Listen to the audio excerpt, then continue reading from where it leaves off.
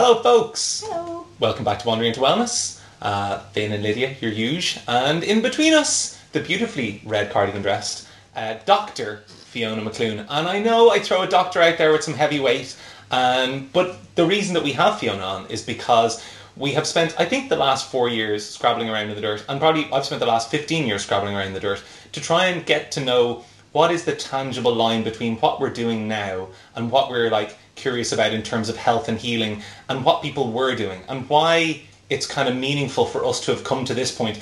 Just because i think it's important to have like a thread right? Mm-hmm. So that we can actually start to tease something back into like at the dawns of time people obviously did things to keep themselves healthy and we're still kind of doing the same sort of thing right? Mm-hmm. A little bit? Yeah. does that make sense? Yeah. so like for can you give me an idea like when you you so you started you have a phd in traditional medicinal knowledge and can you give me an idea of like when you started into that research, did you have an obvious track towards those traditions, or was it kind of like, did you have to kind of like scrabble around looking for like, well, are these things new? Are these things old? Was there a lot of like obvious kind of routes to go down in terms of like which herbs were used and when and by who and that sort of thing?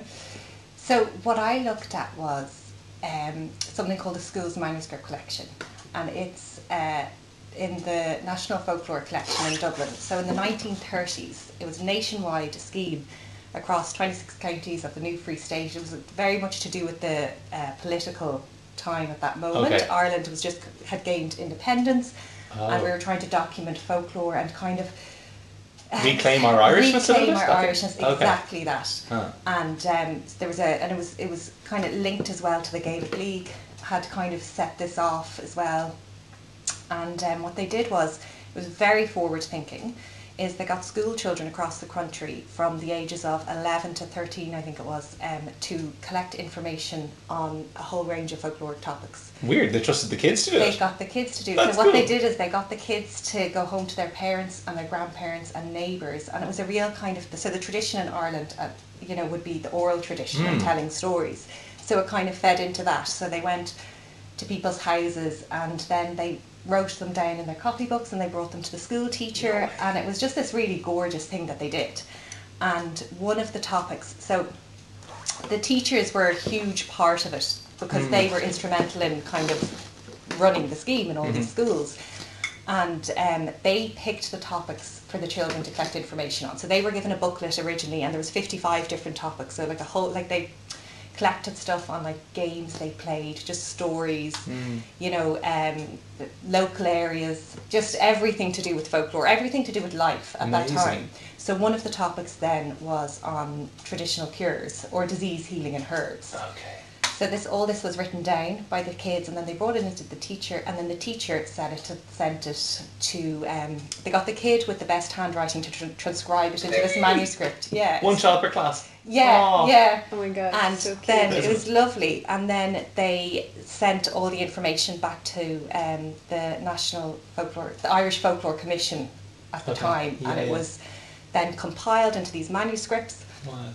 and so that's that's what I exam looked at that information. Okay, and so the mm-hmm. people who would have been transcribing that wouldn't have been medically trained or have medicine as part of No. it. So does that mean that the stuff that you're dealing with as people like they didn't know the things they were referring to, or was it the case that the people who were alive at that stage would have had like good knowledge of working knowledge of what they were transcribing? Like would it have made sense to them, or were they like were they writing down things that were like I don't know what elder what what what? It it would have so they would have had like no botanic knowledge. So on the plants that were written, so there was it's very much like uh, you assumed when they say a plant, Mm. you can only assume because there was no there and there was no specimens of, or anything, Yeah. you know.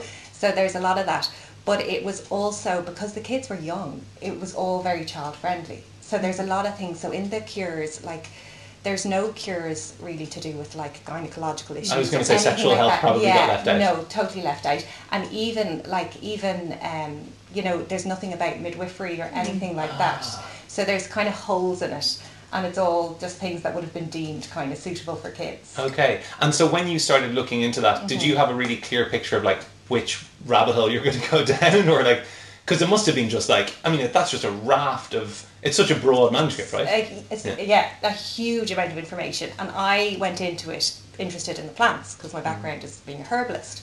So I was mostly inter- interested in the plants. But then, like, there's so much good stuff on ritual practices. Hmm. And, like, you know, and then well, they're kind of religious as well. They kind of go hand in hand, and even just like products, household products were used a lot of the time. You know, like baking soda and Yeah. That was know, all in there, was it? Yeah, all of it. The 101 uses for baking soda stuff was actually the- it's something that it really goes back a bit. I didn't yeah, know that. Yeah, and there was uh, something called blue, so it was like a washing detergent that was blue that would have been common at that time used. So that was like for like any skin ail- ailment or like a It sting or something, they'd terrifying. say put blue in it. Oh, I'm sure, yeah. and blue? sulfur would came up, but like chemicals and you know, so it was a total combination. So that's what kind of came up. So I went in just interested in plants and thinking I'd find something super cool, but it was like all of it, like the broader picture was kind of cooler Yeah. of the range of things. Yeah. And so, did it give you a sense then of like of Irish humans and humanity, and that thread that I was talking about at the start, of like our approach to cure and like something about Irishness and Irish herbal healing? Like, Mm-hmm. did, did it set us out? Do you, did you start to discover? I'm not trying to put words in your mouth, but did you Yeah. start to discover anything around like?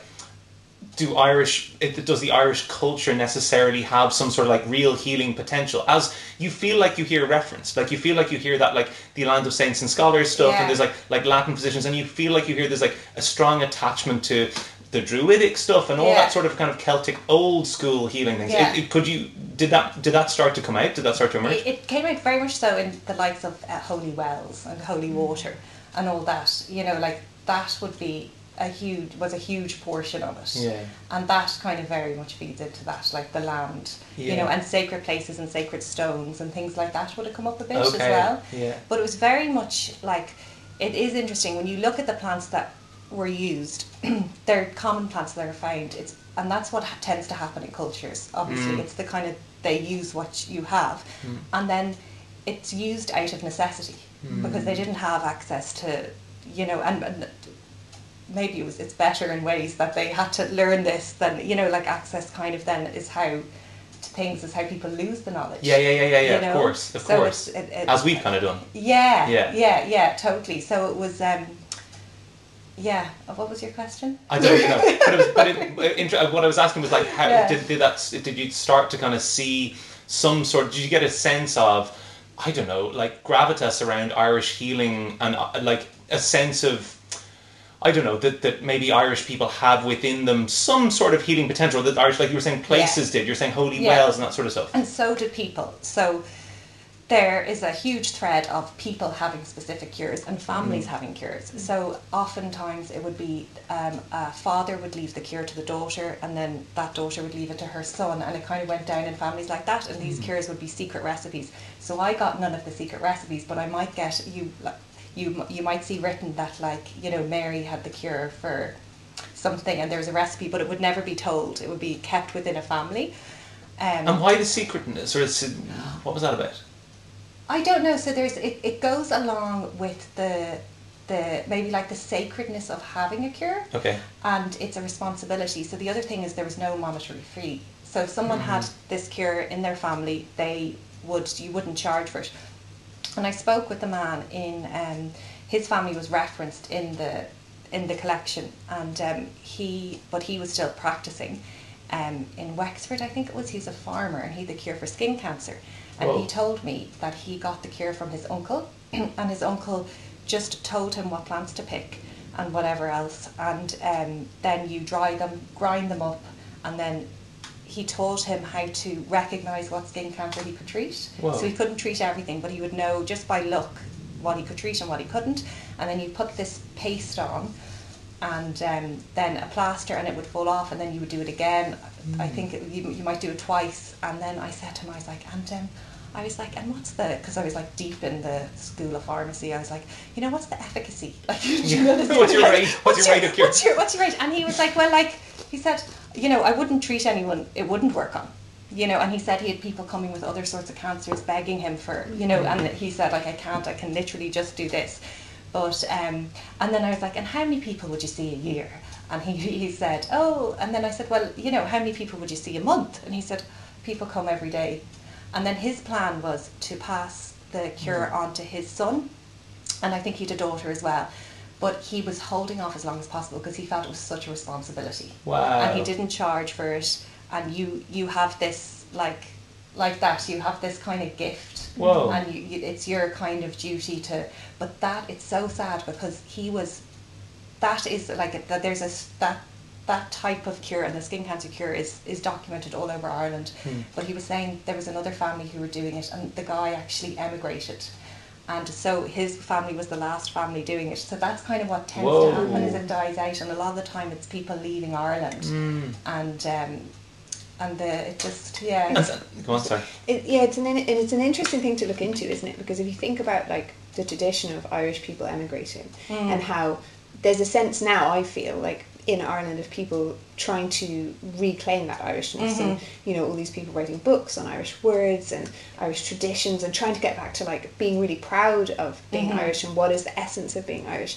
But then at the same time, there's been this massive emigration going on where the Irishness has just got diluted so far because there's been this massive emigration that there's kind of this kernel of like, well, what what is it What is to be? Irish? And and projects like this that you're talking about, so exciting when you're hearing about them because you're going, when you read this, when you study into this, maybe there's an illumination then of what Mm. what sets aside. It's almost like what you were asking is what sets aside Irish traditional healing remedies versus English, Mm. Yeah. you know, or our neighbouring countries. Mhm. What what's the kernel of Irishness? I Mhm. guess. isn't yeah, yeah, yeah, totally. And you you wonder what populations must have had to do. Like, imagine Irish people, somebody with the cure moves to Mm-hmm. America or Australia, one of those awful emigrations, and they arrive with totally foreign herbs, like to, Mm. Yeah, like exactly. like a language they just can't speak. Mm-hmm. Um, and I'm sure there must have been some very interesting like interweavings of like Aboriginal traditions Mm-hmm. and Irish traditions, because I'm sure a lot of those folk cures in some way must have persisted. But it sort of makes sense if you don't have a materia medica, Mm-hmm. we don't have like a, a written down thing. How of course those things disappear. Yeah. How important it is to to retrieve them and reclaim them. yeah, right? yeah, Yeah. And it is interesting because in cultures all over the world, like the same things were done before, like before radio, before television, before any kind of like massive communication. The same traditional healing practices, like things like transference, goes global. So that's when you would give a condition to something, an object or an mm-hmm. animal or something. So like a classic Irish example would be for warts, and it would be a bag of stones, and you'd rub the stone on the wart, or you'd Okay. rub a potato Okay. And you'd bury the potato. So essentially, and the potato, as the potato rotted, your wart would rot. Or if it was a stone, you'd put the bag of stones on the road, and then it was thought if someone picked up the stones, they The would get the warts. oh. They, they would, yeah. So it's like this. It's kind of an so you evil medicine. It's not yet.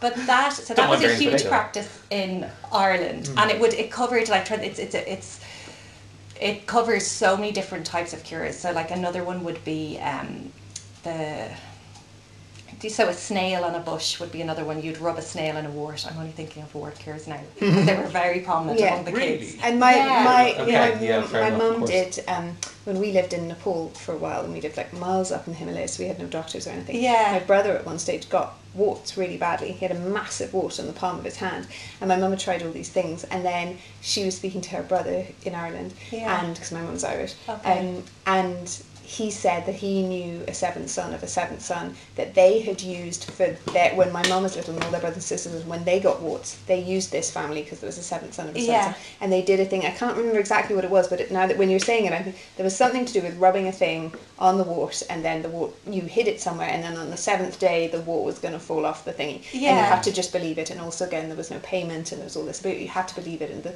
and sure enough It did. off it fell Yeah. Wow. and and they, and they were I think it was something about being in the bath and he was there in the bath and it was all It of them gone. they just literally peeled off Wow, weird. Wow. one day peeled off the skin and my uncle would still my uncle would be very traditional and wouldn't be into kind of alternative things Yeah. so much but he still would use seventh sons of seventh sons and go to these traditional healers that have been in the family when there's something wrong with the horses he'd be a farmer Yeah. they would go to the healers Yeah. before they would Would- go to the medics. Still.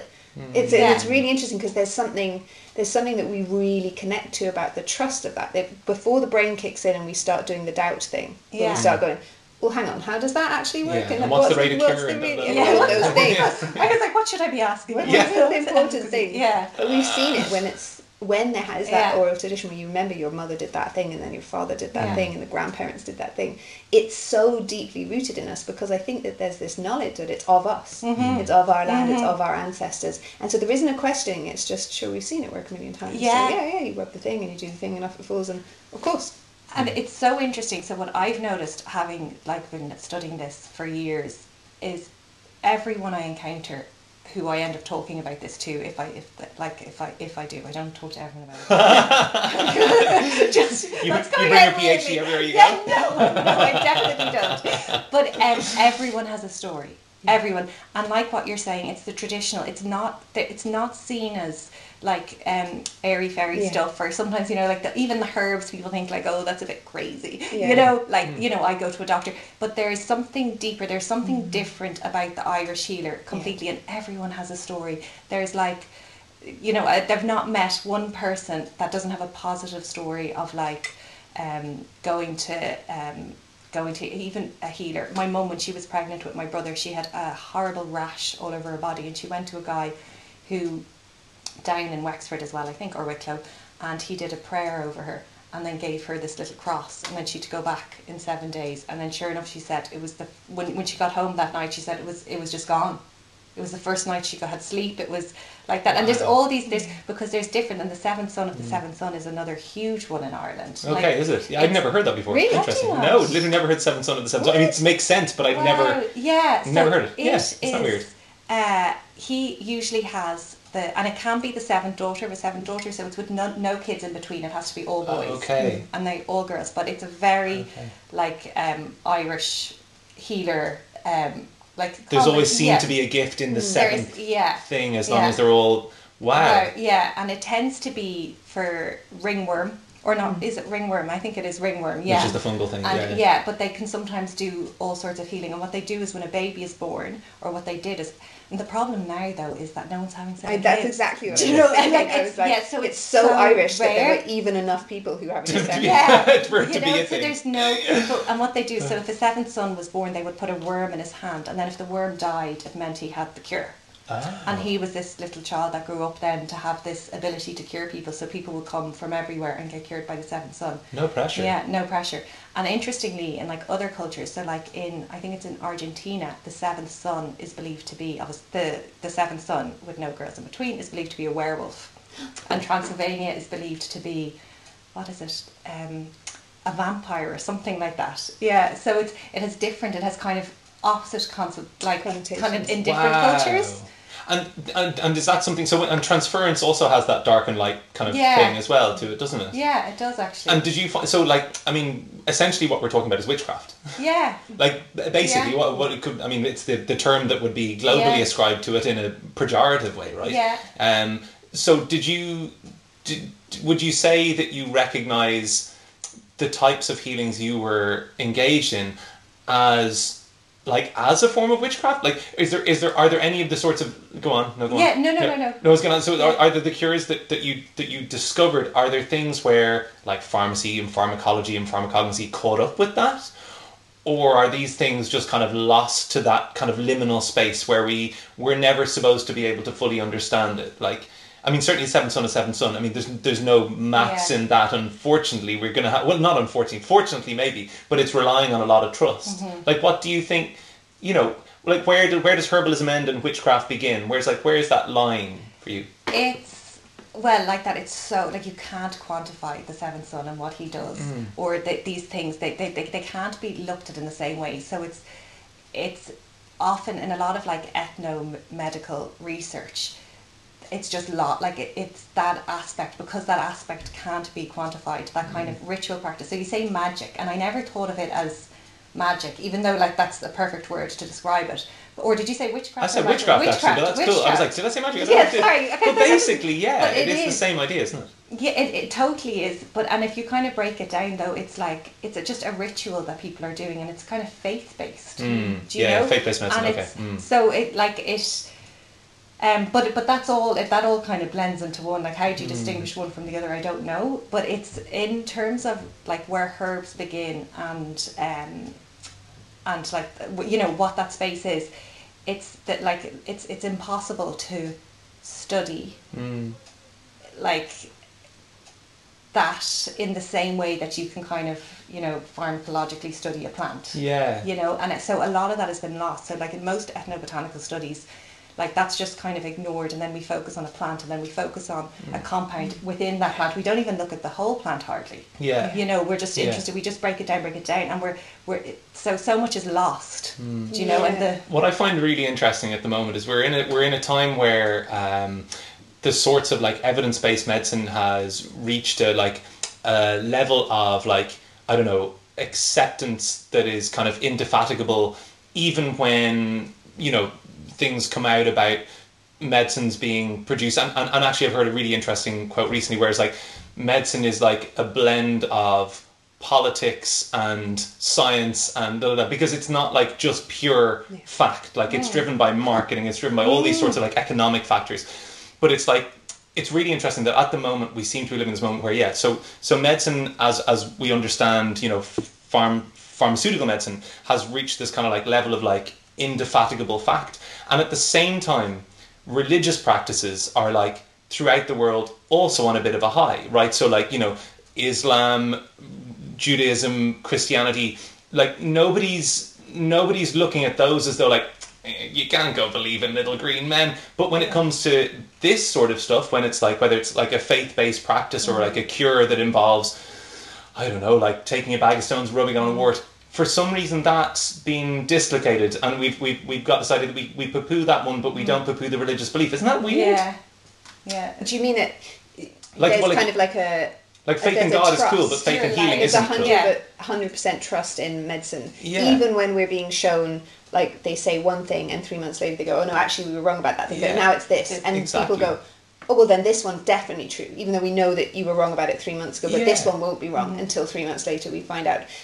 And then we trust again. Whereas in a kind of a, anything to do with ritual or witchcraft or mm. herbalism, we're going, well, where are the studies? You haven't showed us any of mm. the studies. And if you don't have the studies, even though we've seen with our eyes that it's worked 20 times in front of mm. us, we're like, still don't even trust that though. Yeah. And it's, it's a fascinating thing, isn't it? Because why has it got to the point that we're going, we value more the studies that have been done recently and myopically, where we mm-hmm. cleave apart half of the mm-hmm. stuff around it and just focus on one area, but it's been done in a lab and mm. it's been done double blind, placebo mm. tested, and we go, okay, well, that's the right thing. Whereas mm. then we've got these traditions that are maybe oral traditions that go back hundreds and hundreds and hundreds of years and have been tested on humans and only last mm-hmm. because the humans didn't die when Yeah. those things mm-hmm. happen. So that's our evidence, right? The evidence is people kept doing them, and they're not going to keep doing them if people were dropping Yeah. off left, right, and centre. But we're like, yeah, but we can't see the physical proof Yeah. from the manuscript that Yeah. was Yeah. produced in that lab by these people who just trained like Yeah. 20 years ago.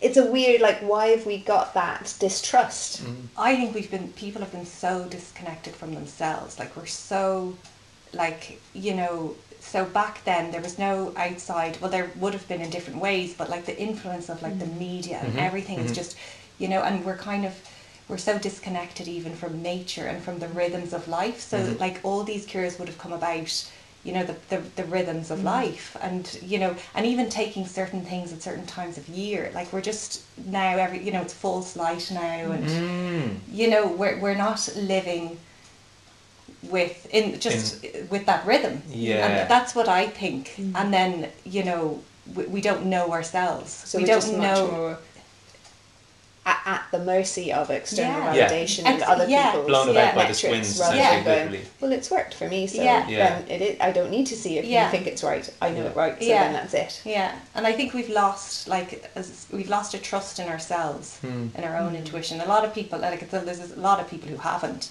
but like on, on the whole you know Yeah. and then people are so suspicious of like they're so suspicious of anything like that that isn't the scientific Hmm. you know So yeah, so tell us as well. You you uh, you were saying that the reason that the the book that was being written, what what was the book called in the nineteen twenties, where the kids were going around doing the gathering the evidence? manuscript collection The school's manuscript Yeah. collection. So you, you were saying that that had come about because there was a a a a want, whatever, to reclaim identity, reclaim Irish, Mhm. whatever traditions.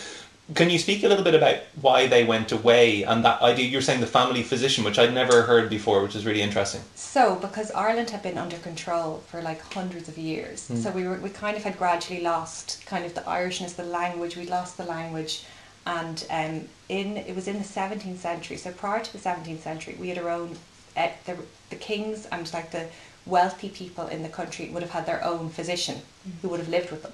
Or you know lived on their land and would have paid. It was like considered one of the highest roles, one, like the highest jobs, and they were called the lieg, and they would they kind of belonged to this family, and they would have had their own like medical texts, and they had their own. These families had medical schools as well, and or sorry, so there was family there was medical schools but then there were the rich families that had the lieg. Okay. And it was it was a whole system. And then in the 17th century, they anyone with money, anyone with like education, Mm. and they all left. And there's no there's no documentation. There's none of the books are there. There's like it's just this big hole in like It's literally none of it's there. knowledge. No, And there was lots of is. books. It wasn't an oral That's- tradition. This was a it written was- down thing. Yeah, because they had Amazing. schools Hmm. and and then that, that's just vanished. So I don't know. So it's it, in looking into it, it's there's just not that much information. Yeah. You know, it's um, and then well, the problem is as well that it was just an oral tradition. Mm. In so the family, like certain the eggs, they would have had their own books, Mm. is what's what's been said. But I mean. In, in ways like who knows what's true, what's not true. Yeah. Do you know what I mean? Sometimes Yeah. looking at history now, you're like, really? I I, don't know. know. I don't know. I'm just I'm just repeating. Somebody was telling me a I story don't that know they this to be fact. Yeah, I don't. But it, um, but very much so. Yeah, with so with all the rich and the educated left Ireland, Mm. So we kind of lost a lot. Mm. Um, there are some texts that haven't been transcribed from Latin, which potentially is information in them. So there, there, there is potentially some things that could be found, but like there's just there's not a lot of there's not Mm. a lot of information. I was reading something recently about uh, one of these old kind of medical texts. It's called like Bald's something. I can't remember. And it was it was uh, part of a. I was part of a podcast, but then I went like reading into it, and it was like this guy who was a physician from the 15th, 16th century, and had a lot of these kind types of cures written down, and one of the cures was for the plague. Yeah. And so the uh, a, a researcher, a kind of an ethno medical researcher, went and tried to recreate some of the recipes, and they're reading it from like a combination of Latin and Old English as well. Yeah. So it's this like. And then put the thy in Yeah. ye- whatever. It's just it's so funny. I can't remember any of the, the quotes, but essentially it was this mixture where they they put um, they took red wine and they boiled it for three days and they boiled garlic and onion and they put in like it had to be done in a certain type of copper pot so the people who were recreating it used like copper pipe that was like the same type of copper or, or the same type of based on the same type of tin or something that would have been used at the time. And um, and they took it and they tried they studied they tested it against uh, MRSA and they did it the first time just to see just out of interest because it's like the thing we can't kill at the moment and who knows and uh, well we know lots of things that can but but you know whatever pharmaceutical medicine can't um, but uh, so they, they tested it first and they the first time they tried they, they expected to see when they put a tiny bit onto this petri dish or whatever that there would be you know maybe a dot or whatever might have removed or they were just interested to see anyway came back the next morning there was like there's just Gone. no sign of it it was gone That's Bald's Leechbook. but yes Yeah. you know it great Bald's, Yeah. Bald's Leechbook, Book, yeah. that's it oh Yeah. do you know that thing that story The, I do. I Oh, do. that's I read amazing. about that. Oh, that's amazing. Yeah, yeah. It's fascinating. But like for me, that was like a great illustration of how when we've kind of come so far past a, a system of medicine which has this like you know this weight of history behind it, and you know uh, like even the fact that that's known and that it's not used Used. is ridiculous. Yeah. Like it's ridiculous. Like it's like no, the antibiotic won't work. I'm like. Okay, and then there's a Bald's Leechbook which does, and I know it sounds woo woo, but it's not woo woo. It But- works. And also, isn't it interesting though? Isn't it a part of it? Because I'm thinking about uh, part of my area of knowledge would be around midwifery and birth stuff and practices historically. And what you see happening with that was that when there was midwives and they were in the community and they had the knowledge and been passed down for generations, and again they would use herbs and they would use. They would look at the moon and they would know, okay, I've got these mothers and they're probably going to go into labour at this time mm. because the moon's going to be in this position. What are we going to do? Okay, we'll use these remedies, etc. And then suddenly, when wealth came in, and men took over the power because they were the ones who were educated mm-hmm. and there were hospitals it was seen to be that it wasn't it was seen to be privilege and and kind of the done thing to go to the hospital and not to be with a midwife because mm-hmm. then you were like rich right? You, you Yeah. could a- allow to take your wife so all the rich people wanted to see their wives go to the hospitals hmm. but they didn't have the midwifery knowledge. They had the modern medical knowledge. Mm-hmm. And it was more complicated and much more things went wrong because it mm. hadn't been tested for so long. And then as that went on and people started to see it as the only way to do things people got afraid of the old way because it seemed more simple. Yeah. and it's the same thing that's happened now. We have this kind of massive distrust of the simplicity Mm-hmm. of the free, essentially free cures that are here. We only trust, okay, this costs a lot of money. We're paying the medicine Mm-hmm. for the medicine, which has also been tested in these studies, which we've paid for Mm-hmm. and massively funded by pharma or whatever it is.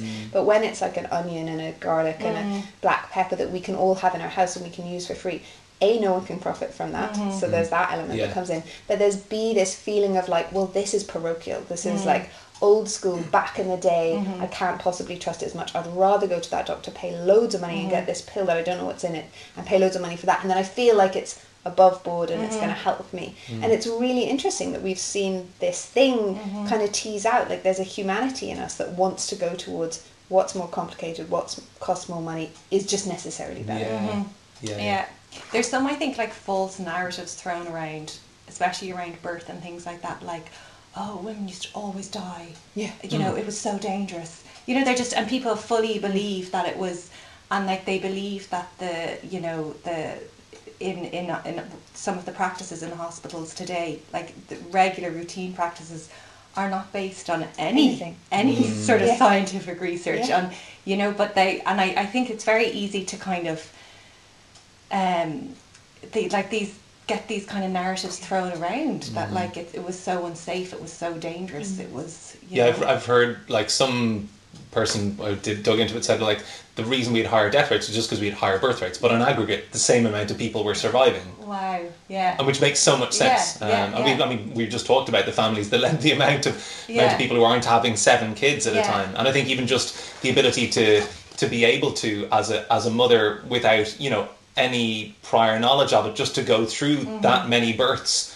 It's kind of it's running the gauntlet, right? Mm-hmm. It's like we've spoken to Layla, who, like amazing mid- midwife um, uh, doula, uh, but who sh- she was talking about how like that's the bit where you're closest to birth and death, and you have the two things happening at the same time. And so, of course, there's going to be that Mm-hmm. There's risk. risk. Yeah, Uh, and, But, and but when there's risk, we just run to a kind of a, a reassurance, which might be a false reassurance, which is interesting, isn't it? yeah it? yeah But I think it's also taking it. It's there is an interesting narrative in, and it, it's slightly deviating, but I think it, it, it also has a kernel of the same thread. Is that it's when it's taken out of the hands of the women and put into the hands of the men mm. because they were educated and then they mm. were seen to know more, mm-hmm. and and there was like a studied knowledge, but that knowledge was was based on like a short term base of information, whereas the women had been carrying that lineage tradition orally And passed and down, passed down yeah. for for generations and generations and they were traditionally you know the witches Mm. and the the healers the herbal medicine they were the doctors were the men but then the women were the ones that went and did the cures and the medicines and made up the medicines and went around and you read it historically in text all the time all these women who learned the knowledge but then the families you can't let the woman has to come in the back door and she brings a herbal remedy and she gives it but you can't tell anyone that you got the remedy from the woman because if it goes wrong the woman's going to be burned at the stake Okay, whereas you can let the doctor in the And front door and if it do goes wrong then it's like well you were going to die anyway Yeah. It and, Yeah. and it's kind of you've seen that same thing happen mm. again and again and mm. again, and even the, the coining of the term witchcraft. Mm. When you're asking like, where is that line between witchcraft and herbalism? Now we see this resurgence where people are trying to reclaim the word witch, and they're proudly saying, "I'm a witch, and this is who I am," and yet. We're, we're still we still have this notion of this black hatted woman with a cat who's mm. there flying on a broomstick as opposed to witch is just this term that got given in a bad way to women who were using and practicing Yeah. and living off the land and using the herbal remedies. And there's power mm. associated with that. And people didn't like to see power in the hands of women i mm-hmm. think. It felt scary to them. And so then there was this like burn them at the stake the terrible women you know? Yeah. And that and it's kind of it, it's threading back into this Yeah. this same thing isn't it it's like we can't see it we don't have facts about it maybe a lot of it came from women as well in especially in the birthing field Yeah. Mm. and we're like ooh that doesn't seem very safe those Yeah. women can't possibly have known they were Yeah. uneducated you yeah know? yeah yeah, being uneducated is the thing, isn't it? huge. Life experience isn't taken as much value, and it's No. it's funny because you hear people, a lot of people refer to sending their kids to college knowing that it's the best thing to do, like they have to, blah, blah, blah, must do that, but also out of the side of the mouth going like, I mean, I know whatever they do won't really be informed about that. They're going there to like be social and da da da da, and you know learn how to learn essentially a little bit, but really it's like you know the life experience that'll lead them wherever they go. So I don't care if they do an arts degree, I don't care if they do a da da da. And it's kind of it there's still this sort of acceptance that we must go through that thing of learning the knowledge in that formal Yeah. school thing that it's not allowed to be just picked up as you go. And I'm a total autodidact. I mean, I've like everyone asks when I'm in the shop talking to people about whatever it is around healing. Like, um, where did you study? I'm like, the school of life. Like, I mean, I have like tiny little things that I've done certificates, but I don't feel like the most of my knowledge has come from any of the formal study. Like, I did a bit of whatever. I did like a a, a, a diploma in um, uh, what is it called? Nutrition, lifestyle coaching, whatever. And I don't feel like I learned from that anything that I would bring into practice that would add to you know the store of information that I can be useful to people with. You know. Um, But now we look to the piece of paper. It's yeah, part yeah, yeah, yeah, exactly, yeah. We don't yeah. care what the piece of paper is, Mm, and that's mhm. the thing. Yeah. The university thing is they were like, Yeah. we don't mind. They can do a degree in anything. It's just so long as they have the piece of paper, then they're seen to be learned and seen to be of a certain Yeah. Echelon. And that's the thing is we're still stuck on this. You had that knowledge. You have no more knowledge really now than you did before you did the diploma. But now you've got the diploma, so people are going to go, well, he knows. He knows. yeah, Go to him. yeah, yeah, Mm. yeah. No, that's exactly it. The best thing I did, so I did like a diploma, I did an apprenticeship, a master's then in pharmacognosy, which was brilliant. But then and then the PhD. But You the were speaking to somebody who's thing- gone through that. Yeah, That's yeah, for sure. but- Like, uh, so I'm, the, I'm I would be the first with my daughter. I'd be like, you don't have to do any. You know, you just follow your kind of, you know, your knowing Hmm. whatever that is. And if you want to, great. Like I wanted to. Hmm. You know, maybe not for all the like right reasons. I don't know. But the best thing I ever did was a apprenticeship with a herbalist, an Irish herbalist, Nikki Darrell, and or herbalist in Ireland, and she like it was just amazing.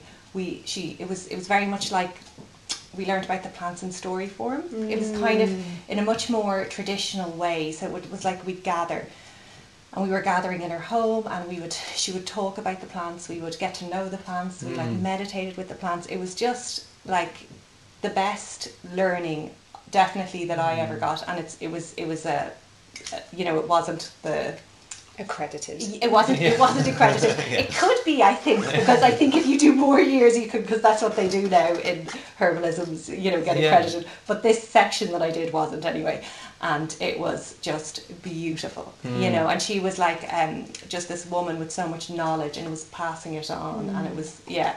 And can you talk to us about what are some of the traditional Irish plants or remedies or things that come up that, that are Irish specific? So if people who don't know anything about this or aren't Mhm. Irish and they're thinking, well, what what are these Irish herbs? What are these Yeah. traditional Irish plants? So the there's I didn't plant wise. I didn't. I looked at the plants that were mostly cited. So like hmm. there was, I think it was like 166 plant species that I kind of came across hmm. through the whole study, and then focused in on the ones that were most cited. And there was nothing, I suppose, like specific to Ireland that wasn't used in other countries, is mm-hmm. what I Oh, found. interesting. Um, but they're like so, the, the commonest plants going. So dandelion hmm. was like the top cited one, Okay. and good for so many different things. So, like it was in Ireland, it was known as um, piss the bed. Yeah. Yeah, because it's a diuretic, so it's really good for your bladder. It's good for your kidneys, but it was also used as a respiratory herbs. And there was some cool like recipes. So you'd boil dandelion leaves in milk, and have it fasting for a certain number of days was one of the cures, or um, dandelion root as well. And like that's like it's everywhere. you look at your garden, dandelions Yeah. are just everywhere, you Yeah. know. And but that's globally dandelion is used a lot, and it's it's even they were looking into it in Canada in a study um, about as an anti-cancer treatment as well. I don't know how far they've got. Is that no no Taxol is from what you mistletoe or something, is it? But it's mistletoe as well, but- but, Taxol is dandelion. it's it's in yeah, it is. I knew there was something in there. is the Yeah. Name of yes, it. Taraxacum, yeah. Yeah. Wow. So that's and then another one which we all know as well is nettle. So Mm. like that was a huge one that came up, and that would be very much a preventative. And they would say because it would kind of get rid of having spring nettle tops, like make a soup out of it or a tea, the juice of a nettle, and then have it like three times on May Day, and it kind of gets rid of the stagnant, you know, phlegm from winter. Mm. And um, it was used as a tonic as well. And then other plants that would have come up are marshmallow. Oh, I don't marshmallow. I don't know if that was though. I don't think that was actually indigenous to Ireland. I think that came in. Oh. Elderflower came up not hugely in what I found, but it but it did come up. Yeah, yeah. You know, some ones that I thought would have had kind of more citations. I think I call them citations of how many times they were Yeah. mentioned. Um, but there was things like uh, then we had the imported things like uh, mustard and Oh, interesting. pepper and Yeah. tea was huge. Um, Tea is a cure for. Is it like because of the what you call the The astringent thing? Yeah. Okay. Yeah. Ah. so a lot for, for eye things. Oh, so yeah. again, because this was written by kids, a lot of the cures are really kind of simple things, Mm. cuts, bruises, and uh, but then and coughs and colds and things like that. Hmm. Um, but dandelion was also used for consumption actually, and um, then there was so we've got potato was used a lot. And that was an import to Ireland, but it's like Hmm. we, we own it now. It's, Yeah. it's so Irish, but it isn't like it's only new. I know, 16th yeah. century, wasn't it? Yeah. Something like that. Yeah. Walter Raleigh, whatever. it is, Yeah. Yeah, yeah. So, but that was used a lot. So again, it's kind of like accessibility, you know. Yeah, yeah, yeah. Um, and And what? How did? What was potato used for? so it would have been used for a lot of skin conditions. Mm-hmm. So and for so external, yeah. And you would boil potato water would be used Hmm. um, for external. Potato water is poisonous, so don't take it. Don't do it. just in case. There are a few caveats here. We're not giving any prescriptions, No just to be clear. but um, so yeah, so so many other plants. Comfrey, huge, and comfrey Yeah. you can't take it internally, you know, legally in Ireland. In Europe, is it all over? Uh, think it's just Ireland for that. It's not. It's Okay. not X. I think I think it's Irish. Okay. Yeah, yeah, yeah. yeah. So it was Yeah. it was it came up quite a bit. It's one of the most cited, and it would Mm. have been used externally, but uh, internally as well. yeah. And um, yeah, so so but there was nothing. So there probably would be like maybe plants from the bogs, like bog bean and things like that, would be Oh, quite yeah. specific to Ireland. But I didn't focus in on them. But my supervisor actually, there's a study I think it's going on at the minute looking at that because I think probably it's um, more specific. But um, The, the the translation even of the fact that you're saying there's a coherence between plant use in different countries is even more like emphatically proof, isn't it? You're yeah, like, wow. so they're found in like caves in like ancient, you know, like the opposite side of the world in like ancient, like Whatever you know, Sumeria, whatever, yeah, yeah, yeah. like the, the you know dandelion leaves or daisy seeds. Amazing. Daisy's another one that came up quite a bit. oh wow, interesting. Which is also known as a bit of a toxic one as well, isn't it? Daisy. Am I wrong? Am I wrong? I no, thought Daisy. Okay, maybe, maybe, I'm wrong. I don't know. yeah, no, no. I feel like I know very little, to be honest. Probably. Don't eat daisies. But so daisies would be external as well, and um, chickweed came up. yeah. Um, like you name it, there's probably a citation in there for something, if you know what I mean. Yeah. And what, like, so when you drew all this research together and all this information, obviously you were frustrated by the lack of information and having to focus on one major source. Yeah. But what did you come to the conclusion? Like, what, what, what were your conclusions around your PhD? Like, where, where did you end up on, in terms of, I don't know, what, what your ideas were and how they kind of distilled? So conclusions. That's a good question. Um, You do have to have them, I think. I don't know. PhDs. yeah. I, don't, I haven't No, done any do, of the yeah, academic and I'm can I have a, can I have a quick read? No. We're not letting her near her PhD, PhD manual. no, so the conclusion is well, with the collection I looked at, Yeah. Mm-hmm. I looked at two counties. I uh, ended up looking at a bit more, but like the bulk of the study was just focusing on two counties, Mm. and there was just like that over 166 plant species, and um, I think it was like over 68 plant different plant families named. Like there was so much information, Mm. and that was probably an issue that there was so much information that I think the magic could be in the little nugget. You know, Mm. like the you know what's the specific plant that actually does it only grows in Ireland here? Mm. What is that, and what was that used for? And I think if if one was, it won't be me, but if one was to go back in and look at the rest of the counties, Okay, yeah, yeah. I, something might come up, and there could even be something in there that I kind of missed Sure. I mean, like, it's a hell of a troll. because there was just so much information. Yeah, and um, so th- one of the conclusions is that there's so much, and it's actually it's so like it's it's such a in terms of like Irishness and Irish culture, it's just such a valuable asset we have. Mm. Like no other country in the world has any. Well, they've something like this. Estonia has really good archives as well. And um, some northern European countries, but there's it's so it's utterly unique. Oh, really? Yeah, That's cool. And it's even accessible now online on a website called duchas.ie. Oh, that's cool. So you can actually go and look at the you original can go and look. I can see that. Yeah, they've transcribed it all and or Wow. digitized it all. Okay. And except for small copybooks, there's you know a, a section that hasn't, but also it's open to the public. Can go in Mm. into the um, the National Folklore Collection Yeah. at certain times and kind of access the material. So if Mm. you've any family that's like from whatever part of the country, you can actually just Google to see because you could Were find they a note- interviewed? Yeah, were they? You know, did they participate? Because not all of them, but some of the segments are signed by the, you know, have the name of the child that brought the information. Oh, that's so cool. What is, what's also amazing about it is the inclusion of children in that. Yeah. It is such an amazing thing because I think what we're seeing, especially in our work, is, you know, that like we were saying, people are coming around, people want us to talk on Mm. ritual, they want us to tell them about healing from your own home store cupboard. Yeah. Everyone wants to come back to these knowledges, and I think there's a yearning, and I think people haven't maybe even thought through why do I have this yearning to connect back into nature and back into the cycles and back into these simple remedies. But there is definitely a collective yearning and a Mm-hmm. movement towards that. Even the fact that our friend Courtney's foraging courses, I mean, they just sell out in a Wow. second. Everyone wants to go to them. They want to know Yeah. what does this do? How can I pick it? People are so excited about it. It's so empowering, Mm. and it's so again. There's that connection back historically, feeling like we're of the land, that we're Mm. rooted somewhere, that we're not untethered. And I think with social media and all these things, we do have this sense of an mm. untethering where we're mm. not connected and where we're mm-hmm. craving groundedness and, mm-hmm. and knowing about the roots and plants is a thing.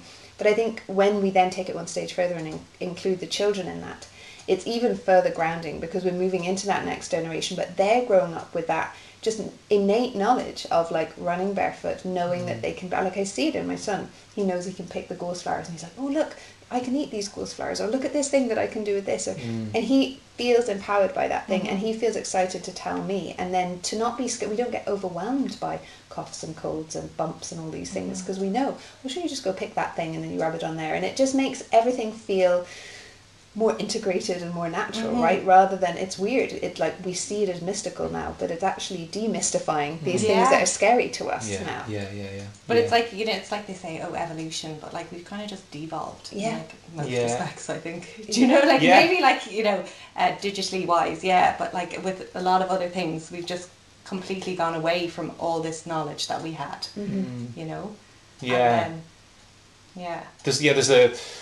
I remember going to a, an art uh, exhibition in Galway a few years ago, and inside this big shed was this huge photograph of like a lump of I don't know turf in a bog, essentially, kind of rounded lump of turf, and it was like I was just got chatting to the person who was whatever they're invigilating and or curating whatever they're doing, and um, and I asked them what's that, and they were like, oh, that's a sauna. I was like, it's a what? They're like, it's a sauna. It's a big art. It's a big art tradition of sauna. And like so many of these practices that we see as being like, you know, like we'll use turmeric from India because we'll trust that. We'll use like yeah. sauna because it's a Finnish tradition, and we like, well, we bow and scrape to that thing. But with so much of it is actually here already. And again, you're talking about that empowering thing. It's so empowering to know that like a lot of that knowledge is, is of this land and it's of our mm-hmm. people, and there's so much that we can, you know, extract from our own awareness. Even magic mushrooms, because apparently the story that goes with that sauna thing is that a traveling mystic uh, shaman of some sort. I don't know what the word is that they would have put on them on that day, and I think shaman probably takes it into the wrong cultural reference. But that they would have come to an area uh, once they say one like at a certain time of year, they would have temporary. The whole community would have temporarily built a sauna, a sauna out of turf, and then they would have uh, had all sorts of like smoke ritual things inside. They would have taken magic mushrooms as well. There's been like parts, Yeah. remnants of magic mushrooms found around these things, Wow. and then they're temporary. So cattle knock them down within a couple of months, and so nothing really remains apart from these very few. On I think that was from a headland in Sligo or something like that, where it happened to be preserved because of the nature of where it was built. But so much of those that like what you're saying, it's so powerful to have uh, something that grounds us in uh, like a sense of like okay wisdom without knowledge. It's like that kind of hmm. intuitive wisdom thing. It's like you don't have to. It's, it's like they like they always talk about kids when they get to like age five or six. Oh, there was something I was reading the other day where it was a, a dad who was asking his kid like, "Where did you come from? Where did you come from?" And the kid was like, "Oh, I'll tell you. I'll tell you one day." And then he asked him once when he was five or six, and he hadn't asked him. He said, "Oh, I've forgotten." Mm. And it's like it's that Oh wow! it's it's Oh, mad, yeah, isn't it? Yeah, yeah, But yeah. it's it's such a powerful kind of poignant Yeah. kind of note that you're kind of you have this sense that we're kind of it's just a, a forgetting and that Yeah. relearning and such a such a great bit of research that you've done and it's great that we can like start to spread the word around that and that it's like digitized and it's there for people to see and to take on and like I'd like to know like what has it influenced what your practice is going to be going forward like Totally, Yeah. without a doubt. So I would have like, first of all, learning about herbs. Wanted to learn about them because I thought Ayurveda was amazing, and you know I was so curious by that. And like all the sexy herbs, the you Yeah. know, ashwagandha, like all of these big hitters, they do all this, this, and this. Mm. And then like what I've kind of come like still great and still like amazing but i'm like it's it's all there in front of us mm. it's on our it's literally it's in our like little green space that grows there whatever's coming up is for you cleavers like dandelion like all these so that's what kind of excites me now mm. so i think it very much i would um it, you know it's it's changed that view for me of mm. like the value of like and I, I truly think as well that like what grows around us is force and is more suited for us mm. for our bodies for everything because it's mm. it's more than just a compound. You know it's the whole thing. It's the Yeah. whole energy of a plant. It's the you know and that energy of a plant that's kind of linked to the ritual thing as well like it's it's more than just a compound Yeah, yeah. And that's naturally linked into the cycles and the seasons. yes Yeah. As well, exactly isn't? So you can't help but live seasonally if Yeah. you're using the plants that Yeah. are growing in your garden. yeah, because they won't be there won't outside be of their own season. Yeah, Yeah, yeah. And isn't there also a thing about? I was listening to you talk there and thinking about. It's so true that thing of like linking in, but also it's about like faith, right? Mm. Because there's a, an, an element of just not blind faith, but a faith that we've lost in kind of general life, where we mm. don't have this. We we have to see evidence. We have to see fact based Yeah. things, and we've kind of lost that. I think loads of people feel like they don't have faith in human nature. They don't have faith in humanity. They don't have faith in all these. And there's kind of, you know, there's a lot of mental health stuff going around and mm-hmm. depression and things where people feel like they've lost faith. And I think we literally have, as a society, lost faith. Mm. Because back in the day, we had these things, and you'd be told them by your mother or your grandmother, and mm. you just have faith that what they were telling you was the truth, and you weren't asking them, "Well, how do you know? Because How- many yeah. studies have you seen done on them?" Yeah. It was like, "I believe it." yeah Yeah. And I think we need that as A humans. trust We need people. that trust, that innate faith, Mm-hmm. and trust in ourselves and in our culture and in people and just people Mm-hmm. in general. That we don't Yeah. need, not that we don't need science. Like beautiful, Mm-hmm. it's there and it's got these uses. But we are also the experiment. Like we Mm-hmm. have the years of experience. We're the proof of the years of those experiments bearing fruit ourselves. yeah yeah, Yeah. Humanity's been so kind of transient as well for the last whatever couple of hundred years since we were able to travel a lot. That communities are really only finding themselves maybe again, maybe even during lockdown as a result of the lack of travel. That there's a little bit more settling and a bit more getting to know each other, and it's not like that neighbor who stays in that flat for a year and moves on, and maybe that's out of born out of a necessity that that isn't pleasant, but it's an interesting thing. Like I remember somebody telling me years ago, which I love, that your soul travels at the pace of a camel. So that if you like, you know, if we're constantly moving, and if society, if you think about it generally, there's so much kind of dislocation and movement in mm-hmm. society that it's maybe only when societies begin to settle into a place and begin to like open their eyes to each other and the kind of the natural world around, they start to be able to explore that. Like, mm-hmm. like you can't. It's like you know when you see one ant like you're looking at the ground, So somebody goes, "Look, all the ants," and you go like, "I can't see any ants," and then they say, "Look, there's one," and you go, "Oh, there's one ant," and then you go, "Oh no," and, and then you suddenly see the ground is actually covered in ants, and your feet are too. Yeah. You know, it's like that. You need a little bit of time to settle in before you can kind of explore that kind of intuitive space around herbs, particularly like with mm. Nikki Durrell. Nikki Durrell. Nikki Darrell Nikki Darrell. yeah. Yeah. like her type of practice is so intuitive that it's like you. It's like people want to get that piece of paper and do it all in three years or four years, and they want the beginning, middle, and end. Once I have a paper, I can practice. But Nikki Darrell's practice for me feels like something like you can't rush it. Yeah. You can't say I'm going to get this done in four years. It'll like come to you when it comes to you, and you're going to have to sit down and wait Yeah. essentially, which I really love about the practice with herbs. That's something that like you know you, can't. Uh, I like there's so much around um, the work that I mean that, that I do in the shop where it's like constantly thirsting for knowledge and thirsting information, but it's like once every three or four years where I have like a I don't know, like I'm reading something that connects back to something from years ago, and I go, ah, you know, and it and it suddenly starts to make sense. But you're you're consuming all this knowledge that means nothing in between. yeah yeah yeah yeah I think it's like a strong tendency. And it's Um, the wisdom to be able to see the important bits Hmm. within all the roots and the Yeah. you know because you need to have that experience of constantly trying constantly learning constantly be exposed to be able to see the gem like you're saying maybe there's a gem there that you missed because Mm-hmm. Yeah. you were so like I have to do it in Di- this period of time Yeah. I've got to Focus. focus on this Yeah. thing and when we have the time you know like lockdown to sit in our gardens and be slow and Mm. simplify you know, it might not be the first day, it might be month seven that you suddenly go, oh, what's that in that corner of the garden that I didn't notice there, you know. And knowledge is that way. Yeah, yeah, Yeah. it is Yeah, really, isn't it? yeah, yeah. definitely. Yeah. totally Well, Thank you very much for that. That was an Thank amazing you. chat. That's a great note to sign off on. And like, yeah, I think if um if there's anything I can bring from this, it's it, like it, it it feels like it's going to help me slow down. And I nearly made a tea before we came on with comfrey and sage and nettle and stuff from the garden. And it's something that I I started like weeding and not just treating the weeds as weeds. And I think that's the thing, isn't it? Yeah. Like and and largely the herbs are the weeds. Yeah, Um, yeah. and it's what you get lost amongst those weeds that you'll find all those, like you say, the gems. Um, so thank you very much Yeah, for, for thank you. helping us expose all that Ah, and explore it. It was Thanks great. for having me. Um, so thank you guys for watching as well, or listening, or wherever you are. Um, please don't forget to uh, like, subscribe, post comments. Come and find us on Instagram at Wandering Into Wellness, and tell us what else you'd like us to explore chats wise, because this is the sort of area that makes us giddy uh, around natural health. But we would always want to be responding to what you want us to talk about. Uh, and, And also, if you have, yes, well, just Yeah. for this particular episode, if you have any family remedies that have been passed Oh, yeah. down, or any stories about seventh sons, or what charming, or any of these kinds of things, please send them in because it would be so nice for us to collate them and put them up on our um, on our little Instagram and show people so people can tune in and read and we can add to them because that would be another lovely way of connecting. Absolutely, exactly, to start that again, because that Yeah. should be really a continuous Mm, practice, shouldn't, shouldn't it? it? Totally. Maybe that's your We'll next thing. collab. Yeah, yeah. okay, anyway, thanks so much for watching. Uh, don't forget uh, to look up our sponsors, Clearlight, um, amazing saunas, infrared saunas. We just had, I just showed Fiona uh, my lovely unit in the back garden uh, where I get to do all of that amazing bathing in infrared light, which is the thing that we don't get enough of when we're exposed to these awful ring lights uh, all day long. um, so, yeah, uh, that's about it. Um, we'll chat to you soon. See you in the next one. Bye. Bye. Bye.